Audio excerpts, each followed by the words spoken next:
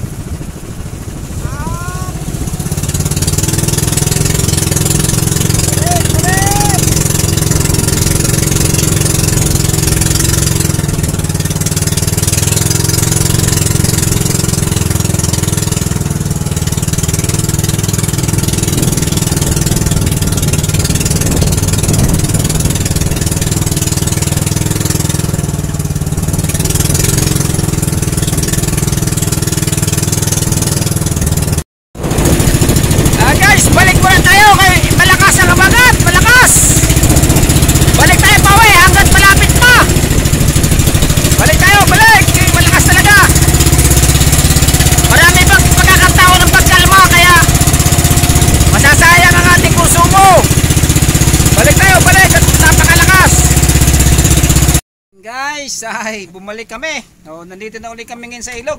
Ay malakas talaga kanina. Kaya mas mainam pang bumalik. Sabi nila ang laban hindi karuwagan ang umatras. Kaya atras tayo hanggat ang gasolina ay kalahati pa lang sa tangking na ubos. Mayroon pa namang kalma yan. Baka Martes or Merkulis kakalma na yan. Okay guys.